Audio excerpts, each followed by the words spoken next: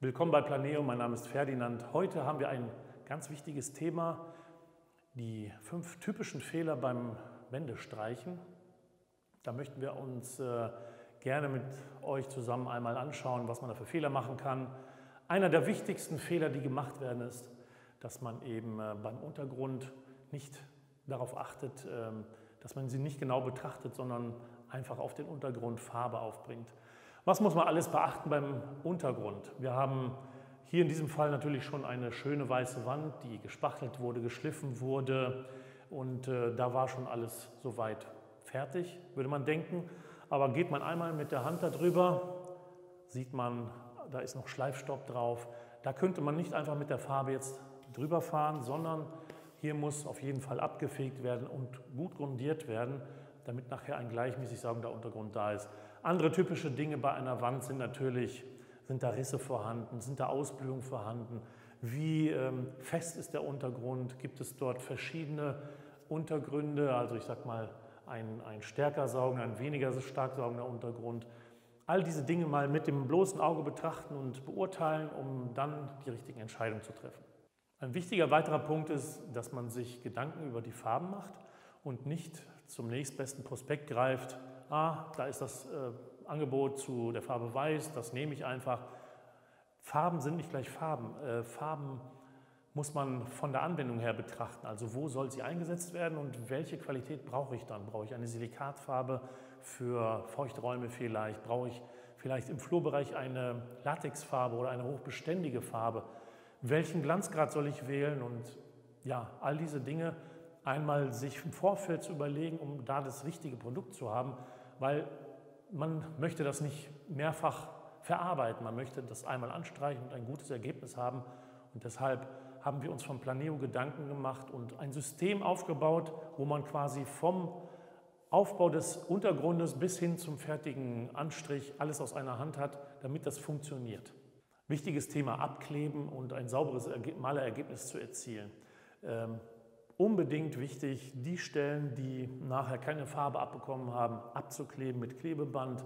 Da gibt es verschiedene. Man nimmt ein solches für Arbeiten, die vielleicht länger dauern oder die im Sonnenlicht irgendwo auch stattfinden, UV-beständig, können auch nach Wochen, sogar Monaten abgezogen werden. Solche einfachen Klebebänder zeitnah wieder abmachen, äh, sonst kann es irgendwie zu Rückständen auf der Oberfläche kommen. Unbedingt sauber abkleben aus folgendem Grund, wer es nicht tut, man kann es hier am Rahmen auch sehen und versucht es nachher irgendwie sauber zu machen, das, das wird alles kein schönes Ergebnis, man muss dann im Nachgang alles abkratzen und so weiter. Ähm, aus dem Grunde abkleben, überall da, wo, wo man äh, ja, den sauberen und scharfen Rand braucht und die Farbe nachher eine schöne saubere Kante bilden soll. Eine ganz besonders wichtige Sache ist, wenn, bevor man anfängt, die Farbe in der Fläche aufzutragen, dass man die Kanten sauber beschneidet, so wie man das fachmännisch sagt. Das bedeutet nichts anderes, als dass man wirklich durch jede Ecke und Kante geht, die Farbe satt aufträgt, mit also einem flachen Pinsel in die Ecken überall die, die Farbe verteilen, wirklich komplett auch hier um diese Steckdosen herum, überall da, wo man noch nicht in der Fläche ist, sondern die Kanten sauber und fertig machen muss, nachträglich dann mit einem Roller zu arbeiten. Das heißt also, man geht und verteilt die Farbe, dass sie gleichmäßig verteilt ist. Dabei kann es vorkommen, dass hier zum Beispiel sich Ränder bilden. Dann muss man hier nochmal so leicht versetzt und den, den Anstrich nochmal quasi egalisieren. Dann erreicht man rundherum wirklich so einen kompletten Rahmen. Stellen Sie sich vor, wie bei einem Puzzle. Sie machen den Rahmen erstmal fertig, um dann nachher in der Fläche arbeiten zu können. Zu guter Letzt noch ein wichtiger Punkt, äh, wenn es in die Fläche geht, Farbe zu verarbeiten. Da kann man durchaus viele Fehler machen. Viele gehen einfach in den Eimer mit, mit einer Farbrolle, irgendeine, rollen kreuz und quer an der Wand herum, gehen vielleicht im Kreuzgang über die Wand und wundern sich nachher, dass das Ergebnis nicht so toll aussieht. Vielleicht sogar noch die Rolle möglichst satt ausgedrückt, um äh, möglichst viel Farbe an die Wand zu bekommen. Das ist nicht die Arbeitsweise, wie man ein gutes Ergebnis bekommen kann. Im Vorfeld sollte man sich also Gedanken machen, erstmal, welche Walze nehme ich denn? Es gibt ja verschiedene Untergründe, es gibt glatte Tapeten, es gibt raue Tapeten, es gibt die Raufasertapete, da muss man verschiedene Florhöhen beachten. Also je feiner, desto kürzer darf auch das Flor sein. Dann sollte man die Farbe gut und satt mit Farbe benetzen, eintauchen. Wer startet, kann auch vielleicht äh, die Walze ein wenig feucht machen, um einfach eine bessere Benetzung am Anfang zu erzielen. Dann die Farbe wirklich vollflächig aufrollen, von oben bis unten und dann immer so um eine halbe Breite versetzt ausrollen, nass in nass arbeiten, das heißt also nicht antrocknen lassen, eine rauchen gehen und wiederkommen. Das führt alles dazu, dass es nachher unterschiedliche Glanzgrade auch auf der Oberfläche gibt.